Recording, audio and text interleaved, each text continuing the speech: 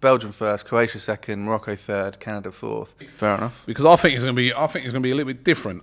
Belgium will go through top in the group. They've got too many good players, too much expectation. Too many, they they will top the group. Canada are going to come runners up. Croatia third, Morocco fourth. That's what I'm going for um, in this group. No, No, that's good. I mean, you could do a tour of Canada if that comes true. So fair enough. I just got a feeling for Canada.